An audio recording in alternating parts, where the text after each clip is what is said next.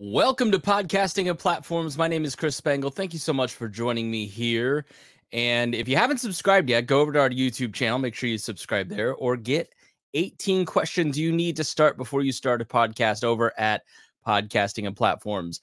Now, today I want to start with my website.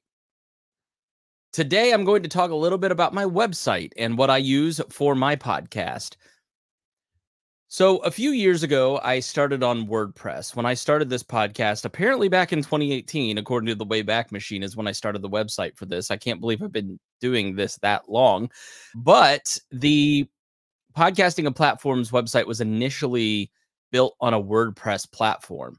That's what I've built wearelibertarians.com on. That's what I've built libertyexplained.com on. And I've used WordPress since 2007. That's actually how I got into content creation initially was the Friday after Thanksgiving, I started my first blog, Spangle's Angle, over at chris-spangle.com, which is now a Linktree site linking all of my stuff together for all my different projects. But at the time, I started on WordPress, and you had to build everything. You had to know coding. You had to do. It was fairly turnkey for that era, but it was still there was still a learning curve for sure. And then I just grew my skills over time. And WordPress obviously has gotten a lot easier. WordPress.org. Now there's there, there was and there is WordPress.com, which you can have like a turnkey website. What I recommend for a lot of people, if they just need a simple website, is Wix. I don't recommend that for podcasters, and I'll tell you why. But Wix.com is, I think, very easy to use. It doesn't have the stigma that it did maybe 10 years ago. Oh, you're using a Wix website. That's uh, disgusting. And then Squarespace and other people, everybody just realized, like, hey, I don't need to spend thousands of dollars on a developer to build a website. But I've built my own websites over the years, and wearelibertarians.com is very functional. because of templates and so on and so forth. You get to a point where you have a lot going on in your older age and you have a little more money, not much, but you can start to pay for services. And with podcasting and platforms.com, I started building it on a WordPress site. And I very quickly got frustrated because I couldn't get that last. The thing about hiring professionals is they get you that last 5 to 10% that you can learn on your own but if you hire somebody who has done it for 20 30 years they can get you that little 5 to 10% that just looks awesome that you didn't think about right? And i just could not get certain functions and features of that website to work and i was very frustrated by it so I had been using Substack for a while and I really like Substack. And I'll throw it up here on the screen for those of you watching on YouTube. If you haven't subscribed, please go check out the YouTube channel. But Substack is great. I've got chrisspangle.com on it. This is where I've moved my blog from a WordPress site over to Substack. It's free to use and I've got four different sites on it. I've got the Chris Spangle Show, History of Modern Pol- Podcast, the history of modern politics, excuse me, and Indiana podcast, which is uh, my radio show where I interview nonprofits. That's where I kept that show. Doesn't make me any money. It costs me time and money to do, and so I don't want to pay for a website to do that. I'm over at Substack, and it's free, and it offers all kinds of cool features, right? But I've got podcasting and platforms over there, and podcasting and platforms on Substack, you can see it's a little repetitive. It's a very simple site. The cool thing about Substack is that it helps you with posts. So you can have posts, it hosts a podcast for you. It does not only emails, the that's the core feature of it is sending emails for your content, but it also has a subscriber feature. So you can do paid subscriptions on it people can recommend it so they can get money for basically recommending your product. And the back end i'll show you the dashboard here is very easy to use and it's you know very simple right? Upload a new video a new thread a new note which is their twitter version. Um it's got all the features that you need as a content creator and I've used it successfully for a while. But I, I ran into a problem recently where the SSL, which is a security feature, so HTTP colon slash www.podcastingandplatforms.com. the and then there's https and the s is uh ssl i don't know what that stands for i'm not a security expert i just know that you need it and you're dinged on google if you don't have an ssl and it's just good practice especially if you have any kind of sign up or you're taking any kind of contributions and most hosts i use bluehost if you're looking for a host you can go to the toolbox and grab uh, the link to bluehost as well as Substack and as well as Podpage over at the toolbox. But the SSL is really important in helping keep your website secure.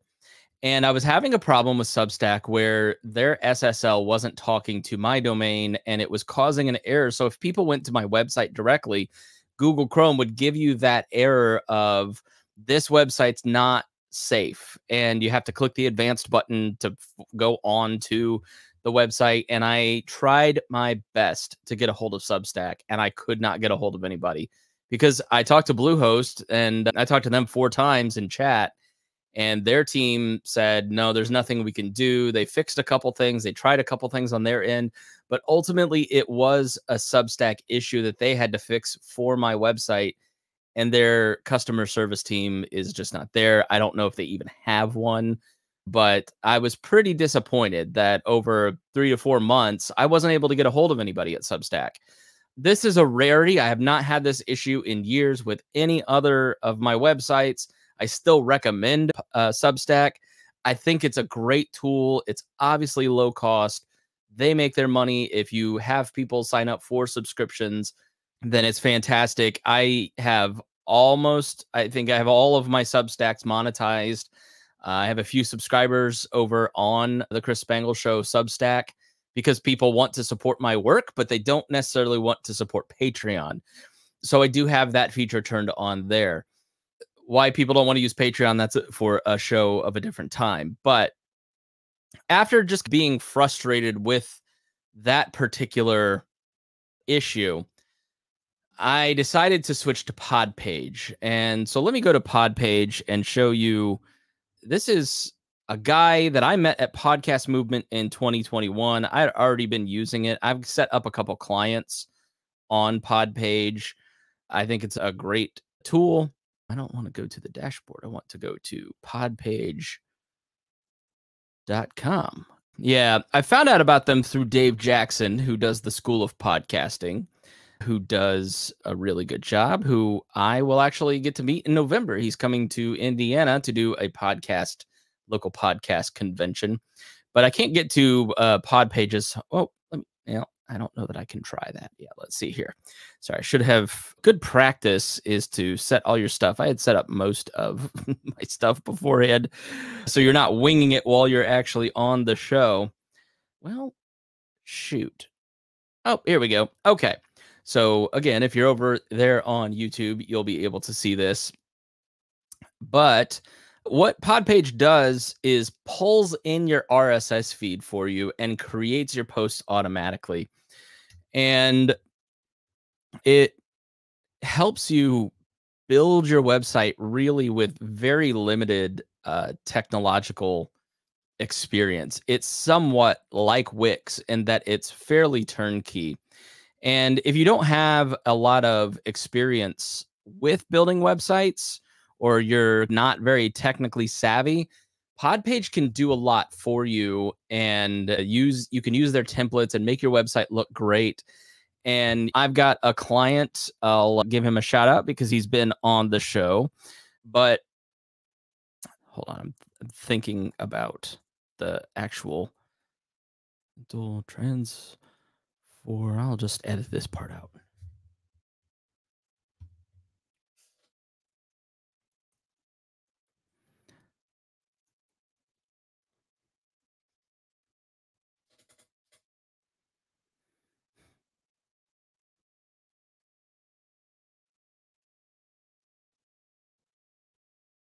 A couple episodes we had on Sean K. Grady, and Sean actually has his website on Podpage. This is the first time I really dove deep into it.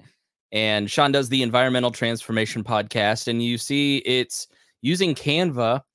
Uh, he had his daughter actually build him some Canva images that he can just drop and drag some photos and redo the text in Canva.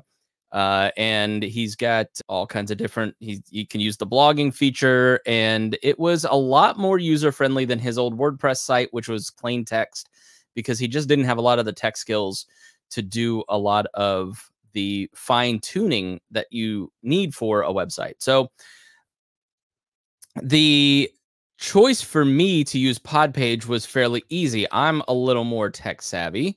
And let me show you the back end. And so you can do a lot of stuff with it. Here in the dashboard, you see there's the website, which gives you the page designer. You can add your domain. You can have different hosts and different guests. It adds all your social links. You, you can manage all of your different episodes. And I'll just give you a little hint of what that page designer looks like. You get to manage all of your different pages there, all your different episodes. You can edit each individual page. People can leave reviews. So I've had clients, I've reached out to my clients, I've reached out to listeners, anybody that I've helped with their podcast just as a, a freebie, right? Hey, can you leave me a review? And they've left that. And it also imports all of your reviews from Apple. You can add your YouTube stream. So it'll pull in your videos and embed your YouTube videos into your website on a video tab, creates a monetization page, marketing op- optimization, search engine optimization. It does a lot for you. And it's basically just inputting into the text box what you want, right? So it's very easy to use. And there are some things that you've got to do that kind of you you might need some help, right? Uh, if you do need help to the fine tuning, I'm always available. Uh, you can go book a client meeting at my website at podcastingandplatforms.com and take an hour of mine and we can work that out and chit chat about it for a handsome fee. But the website looks like this. So you can input all your colors. So like the top bar here, the purple, that's the official color. You've got the Patreon. I wish that Patreon button was a little bit better or more customizable. But the cool thing about Podpage is the guy that actually created Podpage is super, super responsive to anybody that has a question or a need. He's not going to build your website for you, but I could email him, and I have in the past, like when we set up Sean's website, when I know Brian Nichols, he built his website on Podpage, wanted a couple features, emailed him, and like within two weeks, those features were added to the website. I think his name is Brendan the guy that actually created the Podpage website. He's a developer and just felt that there was a need for this out there that automatically imported your podcasts. I can set this and forget it. I don't have to go in and edit any podcast like with the We Are Libertarians website. I have to remember when I publish a, an episode to go to the website and add that to my website. This automatically does it for you. That's a great feature. You've got your top banner where you can deliver your message of what the podcast is, and it's got these cool subscribe buttons here. Then I've chosen to give people the featured episodes. I do wish I could flip flop this so the earlier ones could be at the beginning. Another feature I'm going to ask for for some sorting because I think it'd be a little easier. But I've got those earlier episodes where I talk about some of the basics right at the beginning for people. And then it also integrates with ConvertKit, which I've switched from Substack to ConvertKit for my emails. And it gives you all the little subscribe buttons, all your episodes. You can add all kinds of different things. I've got the reviews there in a footer with all the social links for everything. You can add links. So this will take you to, you can't see it now, but my coaching site. It takes you to the toolbox where people can see the uh, different recommendations that I've got for all the different services that I use and recommend and, and all the different equipment recommendations that I have. You also have those reviews, the About tab, the Videos tab, where again, it pulls in all your different videos automatically for you. You build it out once and then you set it and forget it. And obviously, with something like that, you want to go in probably once a month and just check through and see what you like. One thing that I do think I will miss is on Substack as people sign up to one of the four websites I notice that people will sign up for all four of my different Substacks. So if they're there for an article from the Chris Spangle show or they're there for podcasting of platforms, they see the other four.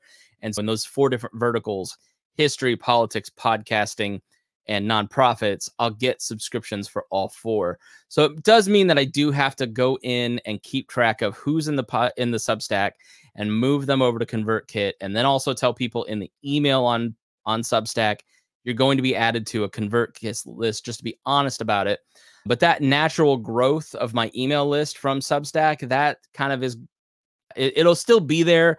It's just that people expect it to be on Substack, and I'll probably still publish my episodes on Substack. Like I do have wearelibertarians.com for the political podcast. And then I also have the Substack for chrisspangle.com. So I make you just use both. So people who have been on my Substack get the benefit. It's a little extra work, but it's not that much extra work, right? It's just a copy and paste situation and you just build that into your routines. But I really wanted to invest in the podcasting and platforms podcast and start to grow it. And I want to, I am in the process of building a course. I want to do some cohorts where I'm doing one on like group coaching essentially. I don't know how to put it. That's what a cohort is. It's really like the group coaches themselves and you lead the discussion. And I wanted to do a better job of promoting the fact that I do actually do podcast coaching as well as podcast editing. And that means you need to have a pop up and that free PDF and some other services that can do a little bit better job of promoting all the different things that you do. And when you look at the Substack, all your links are down in the bottom right. And then on Pod Page, they're up at the top, and you can have banners. And it advertised all these other services that I do a little bit better in the way that it organizes the homepage. That is why I am using Substack and uh, Podpage in conjunction, but my main website now is through Podpage. So it's a great tool. I highly recommend it. You saw Patreon in there. I started a Patreon for this show. I'm just about to get ready rolling on the content. I am still playing with Supercast, which is a Patreon alternative. I like Patreon. I like it for the We Are Libertarians podcast network and the Chris Spangle show.